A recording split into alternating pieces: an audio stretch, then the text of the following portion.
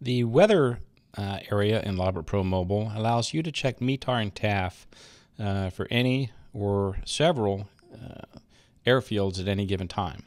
So let's go ahead and tap into the weather area and you can see some helpful hints will appear on your first use and that you can enter one or multiple ICAOs to retrieve METAR and TAF. All you have to do is separate uh, them via a comma. So you have KRIC, comma, KIAD, and this will pull all three in one shot.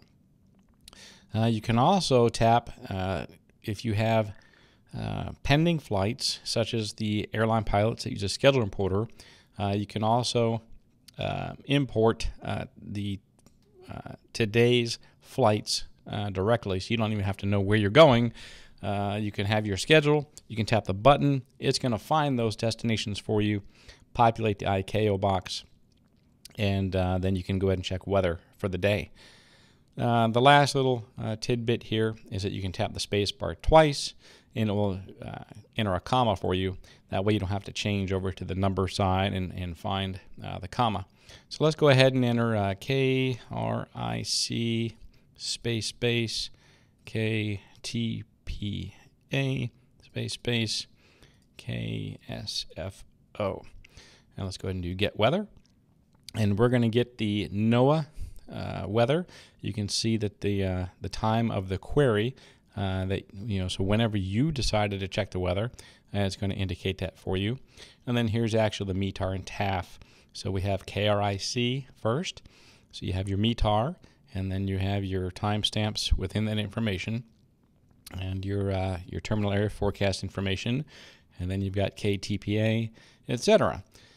Now the app is going to remember this information for you. You can always come back to it. Uh, you can clear it if you want, or you can requery and it will get uh, new weather. Now that's going to append to the top, so your old weather results are going to be at the bottom. So if you want to have your own historical uh, weather for the day, you can go ahead and uh, let Logbook Pro track that for you. Uh, whenever you want to clear the results, just tap clear and uh, you can start all over again. Now you can also, anytime you see this little button here, you can find the uh, airport nearest your location and get the weather. So if we uh, tap the will append to the list.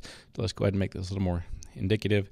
In the iPhone simulator, it's going to use this as the uh, the default, and then we can do get weather on that. And of course, we don't have any uh, weather for that uh, area. So this is an example of the uh, weather capability within Logbook Pro. You can enter your ICAOs. You can find the nearest airfield or in the top right when you have pending flights for today, you can tap that and preload them.